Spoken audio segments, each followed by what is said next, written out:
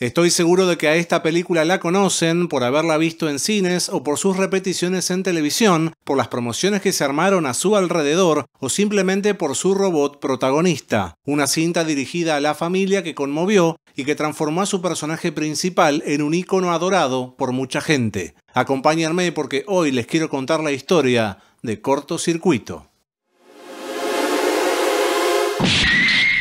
Hecho de cine.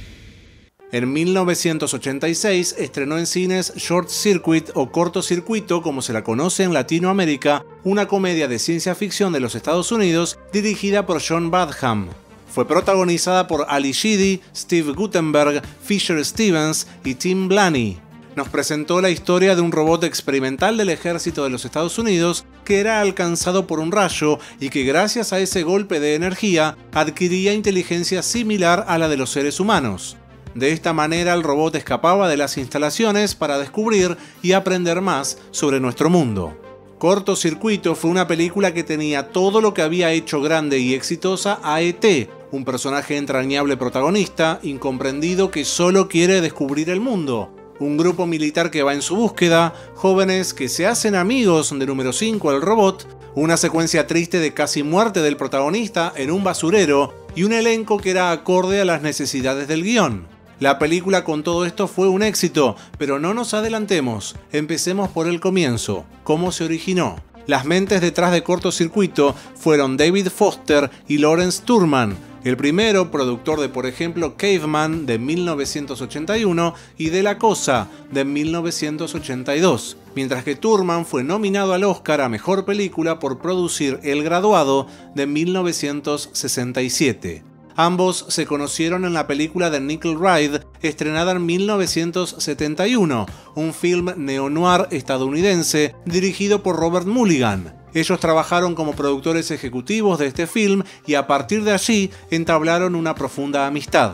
Foster y Turman en los 80 fueron los distribuidores de una serie de videos educativos dirigidos a las universidades de su país que tenían como protagonista a un robot. Cuando se pusieron a pensar, llegaron a la conclusión de que podían producir una película con un robot como protagonista, por lo que vieron una larga lista de films en los que algún tipo de robot aparecía frecuentemente para inspirarse. Llegaron a la conclusión de que no había demasiadas propuestas interesantes para ellos, por supuesto, en las que se explorara esa relación del ser humano con un robot, pero que funcionara como un ser vivo y no como un producto mecánico decidieron ir por ese camino, centrando el relato en un inicio en la idea de que ninguna persona podía entender cómo un robot tenía sentimientos. El primer borrador del film fue muy distinto al que terminó escribiéndose más tarde. Los productores querían que el robot protagonista, número 5, fuese malo, el villano de la historia.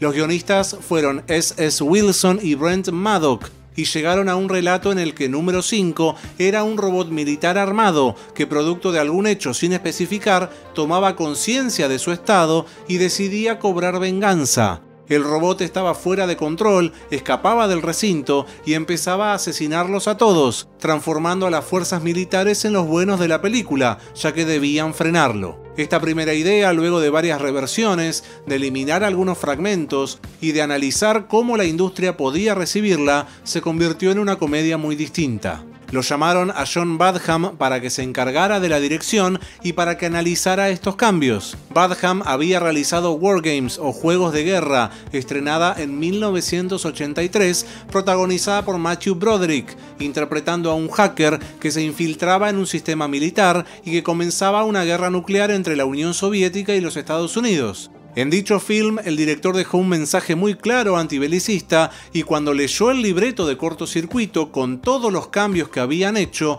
entendió que el mensaje no tenía que ser ese, que el camino militar de la situación no iba a funcionar con un robot malvado. Estaba de acuerdo con transformar a número 5 en un tierno personaje que descubría al mundo. De esta manera, luego de aceptar todas estas reversiones, la película entró en producción, el libreto se terminó de escribir y los productores otorgaron un total de 14 millones de dólares para su desarrollo.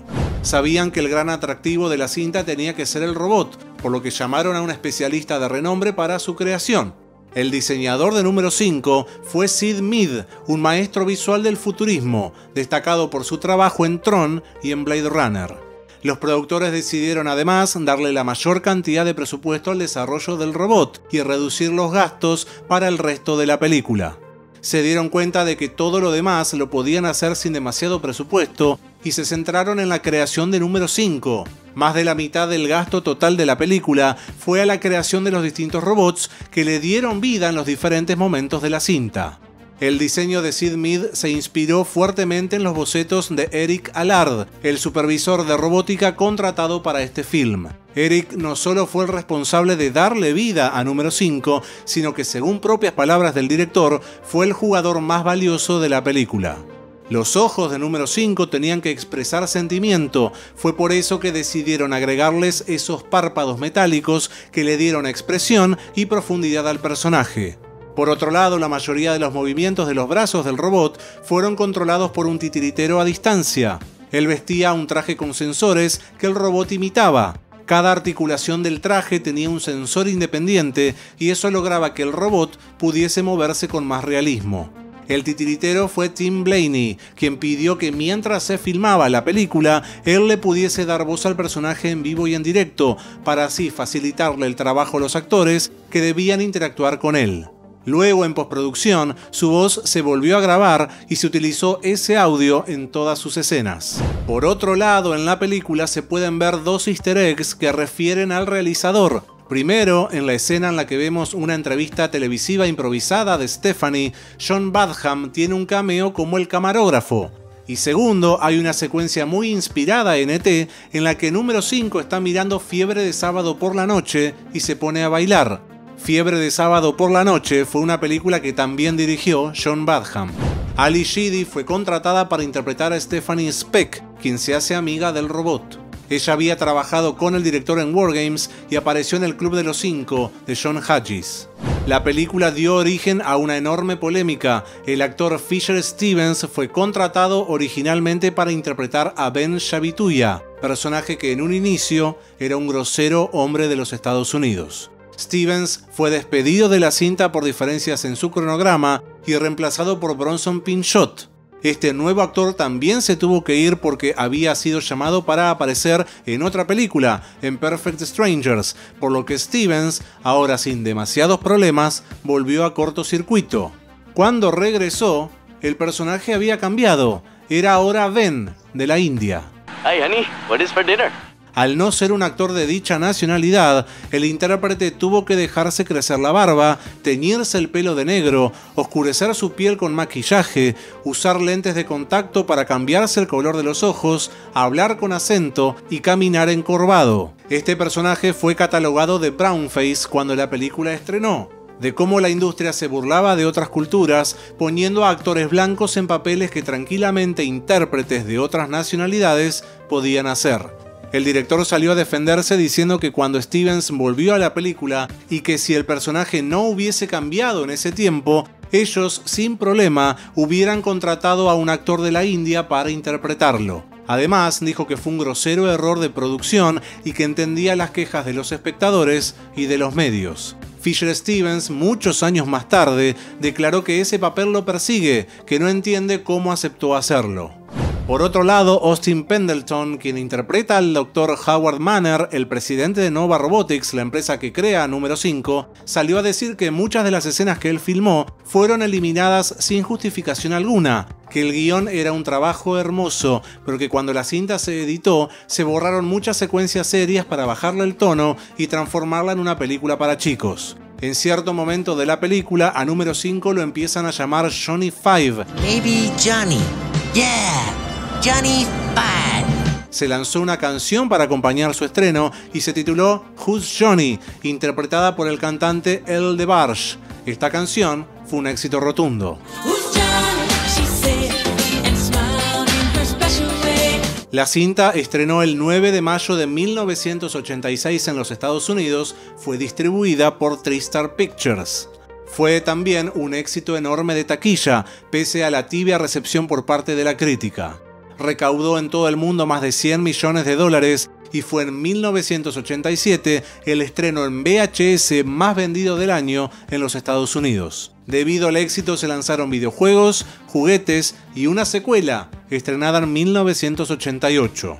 Cortocircuito 2 fue dirigida por Kenneth Johnson, reconocido por ser el realizador de la serie de televisión del increíble Hulk de la década de los 70. La película repitió parte del elenco original con Fisher Stevens haciendo otra vez su polémico rol de indio. La cinta muestra al robot ahora llamado Johnny Five que viaja a Nueva York para reencontrarse con su inventor. Para promocionar la película, el robot empezó a aparecer en todos lados, desde programas de televisión, muestras en la calle y hasta en promociones por todo el mundo. Johnny 5 se había apoderado de la atención del público. En Argentina apareció en estaciones de servicio y hasta en la película Más locos que un crucero, estrenada en 1990, protagonizada por Raúl Taibo y Sandra Villarruel. Cuando la secuela estrenó estaban terminados los guiones para una tercera y una cuarta película, pero Corto Circuito 2 no fue el éxito que esperaban, las críticas por el brown face otra vez se hicieron presentes y la producción decidió cancelarlas. Pasaron los años y en 2008 Dimension Films compró los derechos de cortocircuito para hacer su remake, con David Foster como productor. La película, pese a que había intenciones de hacerla, no avanzó y fue cancelada. Dimension Films puso en venta los derechos y Spyglass Media Group se hizo con ellos en el año 2020. Inmediatamente se anunció una nueva remake sin David Foster en la producción. Ese rol quedó para Eduardo Cisneros y también para Jason Schumann. La idea, según ellos, es darle un toque latino al personaje. Veremos qué pasa con la película, la misma está ahora en preproducción.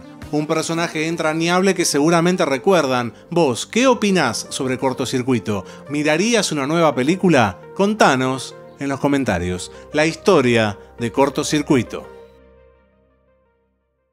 Si el video te gustó, recordá darnos like, suscribirte y darle click a la campanita. También, si nos querés apoyar, podés unirte al canal. Tenemos encuestas exclusivas para miembros. En la edición de este video, Sebastián Piantoni, mi nombre es Martín Morales y este fue otro episodio de Hecho de Cine.